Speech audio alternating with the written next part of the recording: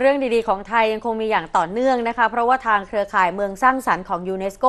ได้มีการประกาศขึ้นทะเบียน 5 จังหวัดของไทยนะคะ ได้แก่จังหวัดเพชรบุรี สุโขทัย กรุงเทพภูเก็ตเชียงใหม่ ให้เป็นเมืองสร้างสรรค์นะคะ ทั้งในด้านอาหาร หัตถกรรมพื้นบ้าน และการออกแบบค่ะโดยนายอนุชาบูรพชัยศรีโฆษกประจำสำนักนายกรัฐมนตรีก็เปิดเผยนะคะว่า เครือข่ายเมืองสร้างสรรค์ของยูเนสโกเป็นส่วนหนึ่งของโครงการที่ต่อยอดมาจากการขึ้นทะเบียนมรดกโลกของยูเนสโกผ่านนโยบายระดับท้องถิ่นไปจนถึงระดับนานาชาติที่เชื่อมโยงกับเมืองต่างๆ กว่า 300 เมืองทั่วโลก เน้นการพัฒนาอุตสาหกรรมสร้างสรรค์และการพัฒนาเศรษฐกิจและสังคมอย่างยั่งยืน ซึ่งเมืองสมาชิกจะต้องตรวจสอบความก้าวหน้า และจัดทำรายงานผลการดำเนินงานตามเกณฑ์ของโครงการทุก 4 ปี ก็แบ่งออกเป็น 7 สาขานะคะ ได้แก่หัตถกรรมและศิลปะพื้นบ้าน การออกแบบภาพยนตร์ อาหาร วรรณกรรม สื่อศิลปะและดนตรี ซึ่งปัจจุบันยูเนสโกขึ้นทะเบียน 5 จังหวัดของไทย เป็นเมืองสร้างสรรค์ในด้านต่างๆ โดยจังหวัดภูเก็ตค่ะ ขึ้นทะเบียนด้านอาหารเมื่อปี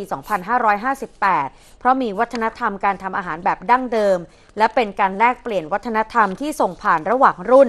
สามารถสร้างมูลค่าทางเศรษฐกิจท้องถิ่นจากอาหารได้กว่า 3.6 พันล้านเหรียญสหรัฐในแต่ละปี จังหวัดเชียงใหม่ขึ้นทะเบียนด้านหัตถกรรม และศิลปะพื้นบ้าน เมื่อปี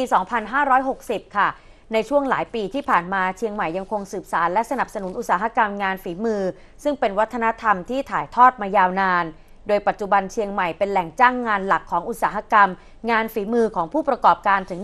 159 แห่ง ส่วนกรุงเทพมหานครขึ้นทะเบียนด้านการออกแบบเมื่อปี 2562 เพราะว่ามีความหลากหลายของประชากร มีการผสมผสานระหว่างสุนทรียภาพแบบดั้งเดิมและแบบใหม่ทำให้เกิดวิวัฒนาการการออกแบบของเมือง ผ่านช่างฝีมือผู้ประกอบการ และชุมชนการผลิตเชิงสร้างสรรค์ที่มีอยู่ทั่วเมือง ส่วนจังหวัดสุโขทัยค่ะก็โดดเด่นนะคะขึ้นทะเบียนด้านหัตถกรรมและศิลปะพื้นบ้าน เมื่อปี 2562 เนื่องจากมีมรดกทางศิลปะและหัตถกรรมดั้งเดินอนอันยาวนาน และเป็นศูนย์กลางการผลิตช่างฝีมือ ซึ่งมีกว่า 1,300 คน ที่ทำงานในชุมชน โดยงานฝีมือดังกล่าวสะท้อนถึงภูมิปัญญาโบราณ และการยกระดับเศรษฐกิจของสุขโขทยัยและเพชรจังหวัดเพชรบุรีค่ะ ได้รับการขึ้นทะเบียนด้านอาหารนะคะ เมื่อปี